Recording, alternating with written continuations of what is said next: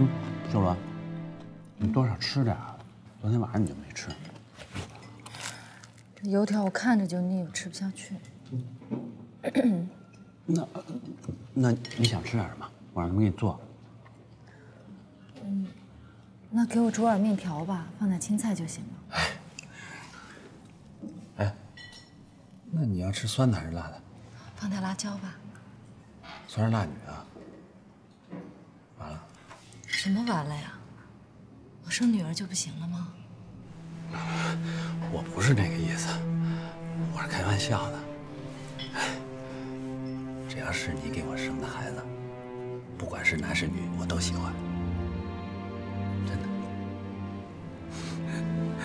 服务员，来，要吃什么？那个再给我来一碗面，放点青菜，再加点辣椒。还要什么吗？不要了。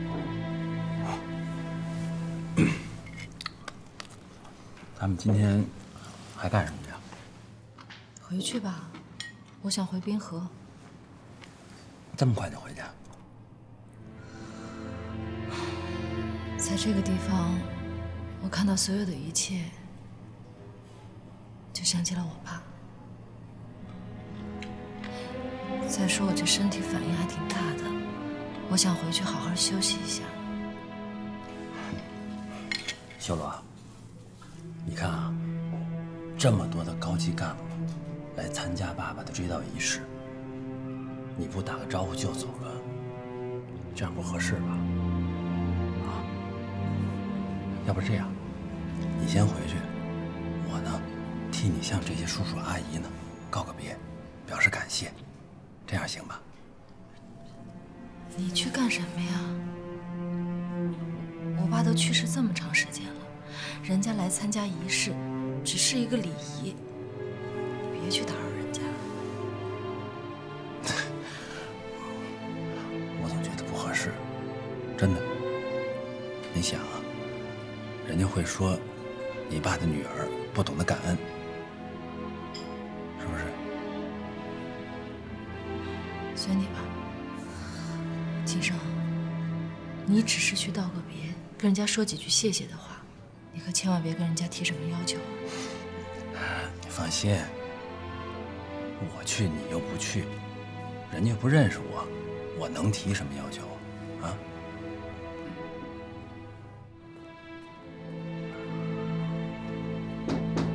请进。你找谁？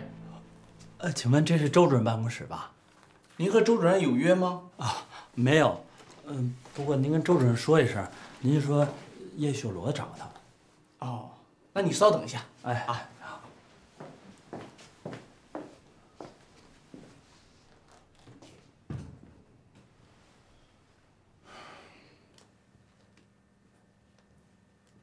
秀罗，修罗，哎，修罗在哪儿？哦，周主任，我是叶秀罗的丈夫，我叫马庆生。啊，叶秀罗身体不太好，他让我来啊，特地向您表示感谢。哦，来，进来坐吧。哎哎哎。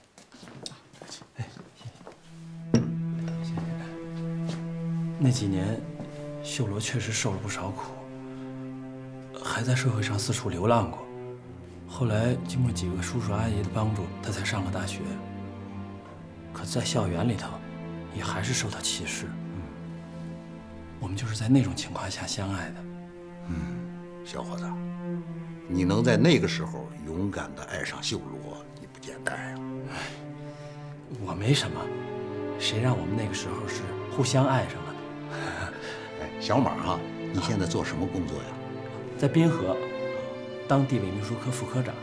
啊，本来秀罗是分到省城的，后来是为了我才从省城又调到滨河的。这就是爱情的力量啊！哎，年轻人，好好干，以后会有前途的。还靠周主任提携呢。哎，你放心吧，老叶就留下这么一条根，我们责无旁贷。哎，谢谢您。为了这份来之不易的爱情，修罗跟我都承受了巨大的压力。修罗曾经要求和我分手，怕连累我。可我跟他说，为了这份爱情，我就是不要工作，甚至不要党籍，我都要守住这份爱情。哦，伯伯，我是不是觉悟太低了？说得好，哎呀，这要是在文革前，我又该批评你觉悟低了。可现在，年轻人，你做的对。你们的爱情是经历了政治风波的考验的。伯伯，秀罗为了我，牺牲了省城的工作，调到了滨河这样的小地方。放心吧，你们会回来的，我一定帮助你们。回来了。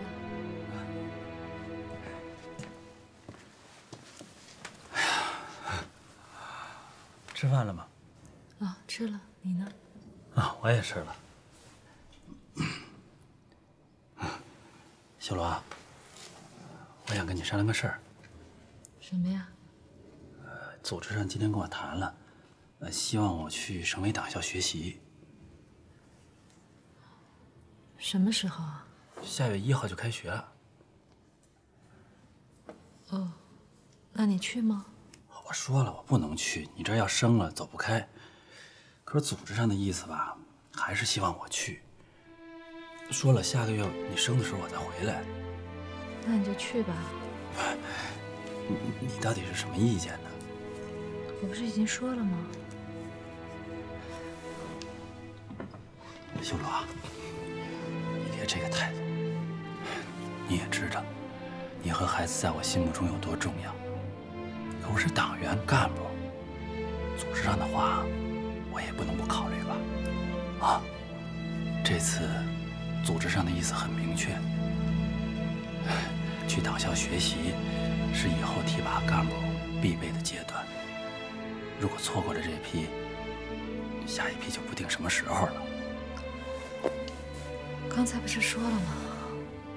我不耽误你，你去吧啊。那你真的不怪我？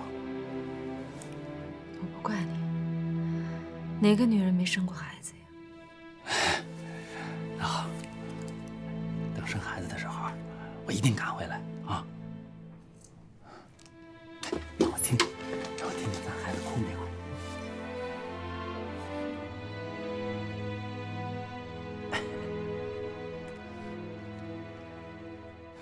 秀罗，那我就走了。你呀，要自己好好照顾自己啊，好好吃饭。